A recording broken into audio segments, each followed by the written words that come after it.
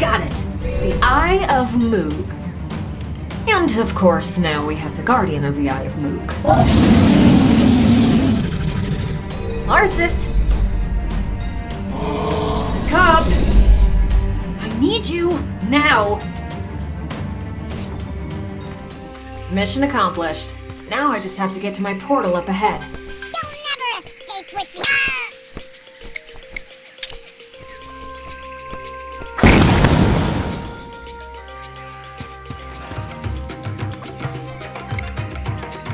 Zaw told me stories about a tree like this. A tree of knowledge or something. No one. Alone. It's a universal key left over from my last quest. Zaw, open a portal for me. You won't escape. What the hell are you? No one Huh, that was easy.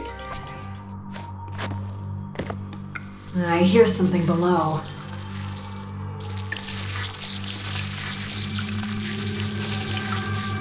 Oh, spiders. I hate spiders. Okay, pulling the root.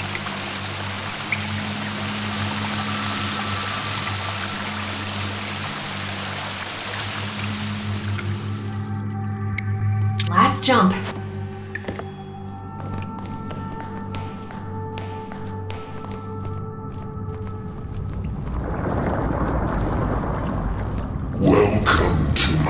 My Faceless One. Are you volunteering to be my dinner, or do you seek my wisdom?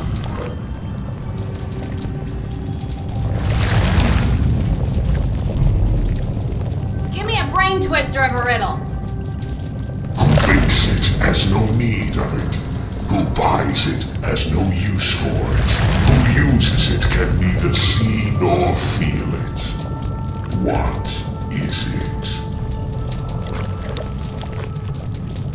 All right. Uh, coin?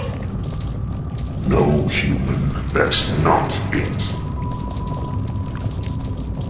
It's a coffin. Yes, a coffin. I can remove this facade. Leaving me as I truly am. The faceless thing she made me. Its true name was Za, an ancient evil entity, akin to a dimension spanning devil.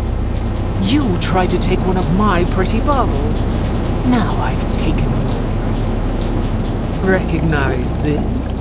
Oh, but you can't see, hear, or speak at the moment. I can rectify that. Then there's this fool, Larzus.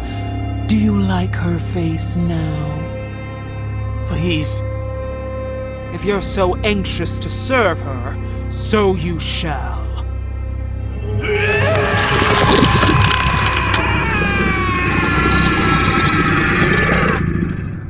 But in a form more suited to her new responsibilities, that of a dark particle demon. Now, make your home in this vase until you are summoned.